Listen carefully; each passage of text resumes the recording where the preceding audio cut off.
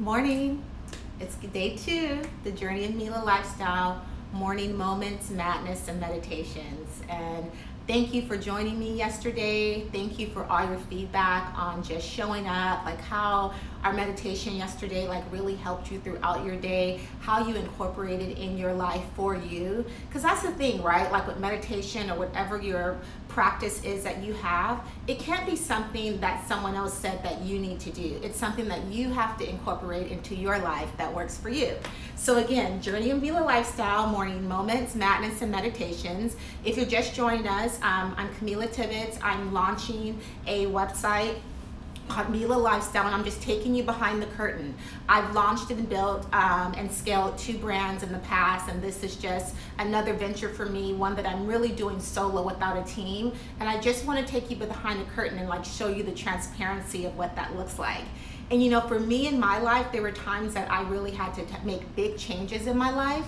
And for me, what really helped was creating that accountability because I really didn't have accountability. I had a lot of yes people. And so, me showing up for you, I know is my accountability as well. So, when I'm telling you these things, when I'm telling you these meditations, when I'm sharing with you like all the drama and things that are going on, it's creating accountability for myself because when I woke up this morning again, like this is the madness. Like I woke up late, I'm tired, I'm sleepy. Concealer helps everything concealer helps everything. Hello? So I was like, I, can't, I was like, I gotta show up. I said, I, I, I gave my word, I'm gonna show up. And so this is what I'm doing today.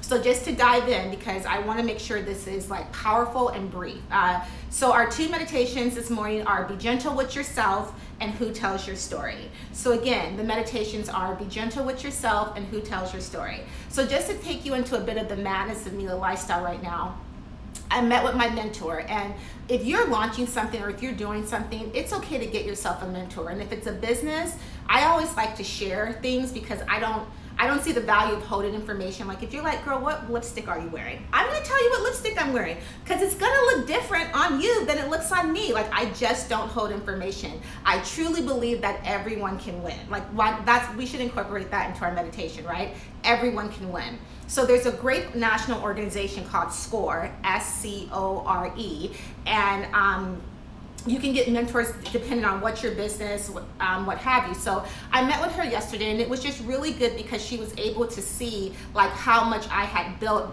from just me talking to her about what my vision for Mela Lifestyle was and then showing her like my inventory of products, showing her, you know, where where the website is going. And the reality is is that you still need people in your life that are going to encourage you because I did get into I did get trapped in a bit of fear, and her encourage her encouragement to me was go back and look at your press kit, go back and look at your deck, like go back and look at your brand strategy because this is where you shine. So I'm gonna ask you today to remember, like, where is it that you shine? Like, we all have a place where we know, like, this is my jam, like, this is what I do well. So find out where you shine and always incorporate that in whatever your dream or your vision is for your life.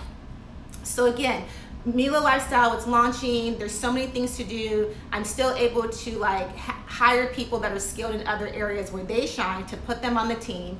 But the first meditation this morning is to be gentle with yourself because you know the voice that we have in our head that committee in our head like we're harder on ourselves than we are with with other people and so when you're in the midst of transition or when you're in the midst of an unknown and this is unknown right like we don't know what's going to happen next and if you're like me, a person that's used to strategy, a person that's used to a plan, where what we're living through right now is is a time where we really can't say definitively like this is my next move, right? But even though we can't even though we don't know what's happening on the outside, we can control what's going on, on the inside in us with our spirit, with our demeanor. And so I really want to encourage you for your meditation today to be very gentle with yourself. And when I talk about gentleness, I want to talk about something that comes up a lot when I mentor people or I work with people, and that's I want I really when we when we're gentle with ourselves i want to dig deeper and i want you to silence the shame okay so like there's a lot of things where you're like Kamilah i want to launch my brand or Kamilah i want to write a book now that i'm at home alone and the reality is, is that there's some shame or there's some things that you're wearing around like a coat like i'm wearing like i'm wearing this coat like you're wearing some shame around something that you've done, something that you didn't accomplish, something that didn't go right, and we got to silence that. We got to like take that and put it on the shelf. So when we're gentle with ourselves and that and that comes up, that shame comes up, we need to silence that. Either whether it's creating accountability for that or speaking back to it. You know, like you don't want to walk around talking to yourself, but the reality is is that if you hear that voice that's like, "Oh, but remember you didn't accomplish this," or "Remember this didn't happen," it's okay for you to speak back and say, "This is this is who I am. This is what I know is true." You need to separate the facts from the lie. Like, what is the lie that I'm believing right now? And so be gentle with yourself, silence the shame, and remember that this is a process, right? So when we're going through things, when we're looking at what our next moves are, we have to remember that there's a promise in the process right? So when I'm going through things, when I'm launching Mela Lifestyle and everything seems array and my house is a mess and I can't show up for the people that I love 100% because when I'm with them, my mind is thinking about something else.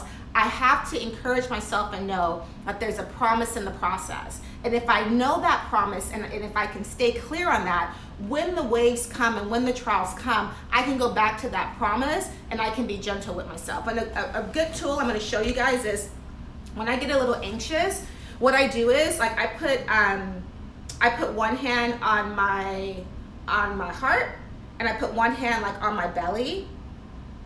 So I'm gonna stand up real fast, okay? So like I put one hand on my heart and I put one hand on my belly and I center myself. I breathe in and I'm just like I'm safe, right? Like I breathe in and I'm safe. And and and that's the joy. That's that's the promise of my life today, right? Because I've gone through a lot of processes but I'm a, I'm a woman that can keep herself safe today, right? And so you can be that person, like you can keep yourself safe. And when we're safe and we're calm, like that pours over into other people. So again, our meditation is be gentle with yourself. And the next meditation I want you guys to take away with is who tells your story. And I was thinking about this because anything that you do you're thinking about how you want to you're branding yourself right? So when i'm when i'm when i build my businesses i'm always thinking about what's my brand what's my brand voice? Like who am i going after? And if you're, you're like i'm just i'm just a teacher i'm just a photographer i'm just a mom. But you're still like but people have something to say right so you're still a brand when you look at your resume when you look at your cv when you look at your deck that's still your brand and you want to be very clear on who tells your story and in, and you know who tells your story? You do. And so in order for you to tell your story effectively, you really need to strengthen your voice. Okay? So when I if we take it back to Mela Lifestyle, I really thought about being of service, right? Because I've had brands, I know how it works, but I really thought about who is it that I want to serve. And I create kind of this I create this person in my mind. So I'm thinking about where where do they live? What what where do they go to dinner? Like see, I don't know how to turn off. I think on do not disturb. I literally have to have my 23 year old son do that, and he's not here. But he usually tells me, "Google it, mom," and I don't have time to Google it. Like I had to, I had to be accountable. So, um, but those are things that happen, right? And so you can't. When things happen like that, like my alarm went off, you gotta, you gotta keep going, and you gotta be clear about it. So, being really clear on who is this person because if you have an idea of who this person is then it's going to be very easy for you to service them in your business strategy. So let's say, for example, you're a photographer, right? You're like, I'm a photographer. Okay, great. You're a photographer. You want to you want to build this brand, build this business of being a photographer. You need to decide who your client's going to be, right? You need to decide, do I like to, you know, be do street photography? Do I like to shoot only couples? Do I like to shoot when there's a lot of activity around me? Do I like to shoot when it's more a calm environment and senior photos? And once you know where you thrive in, then go deeper. Okay, so let's say it's like, I like to shoot couples. Okay, that's fine. What type of couples do you like to shoot? Do you like to shoot super creatives that move around a lot? Do you like to shoot only in weddings? And you start to make a list of who this person is that you're trying to service. And you do that you do that in anything that you're doing whether you're a teacher whether you're in finance like who is your who is your client in finance and so that's that's how we build a brand voice right this is a voice of of, of our consumer. And so if you look at some different brands or different companies, they really have a voice. And you can tell what their voice is in terms of if you look at their Instagram, there's a voice there's a voice on their feed, right? There's a voice in how in their copy. There's a there's a voice in in the people that they have uh, the influence influencers that they have match that voice. So you need to be really clear. We want to be really clear on who tells our story and what our voice is.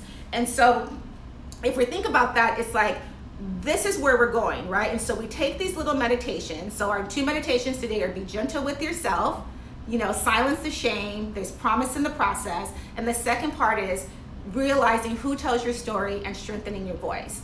And if and I always want to leave you, I'm really big on analogies, and so I always want to leave you with if you think about like when you shoot a, a bow and arrow, right? And and you're in and you're in this and you're in this stage and you feel like I'm being pulled, I'm being challenged. This is not what I planned for 2020. I want you to remember that you're being pulled back. And, and when you're being, and the whole idea with the bow and arrow is that the more it's pulled back, the, the farther it can go, right? So the more I'm pulled back, the farther I can go. And so in this moment, when it's almost like the arrow, like you're being pulled back, you're being stretched, you're strengthening your voice, you know, you're silencing the shame, you're being gentle with yourself, all those areas where you're being stretched, I can stand firm in telling you that there will come a time. It will not be today. But like we said before, there's promise in the process. There will come a time that as you're being pulled and as you're being stretched, that you will launch into greatness, that you will launch into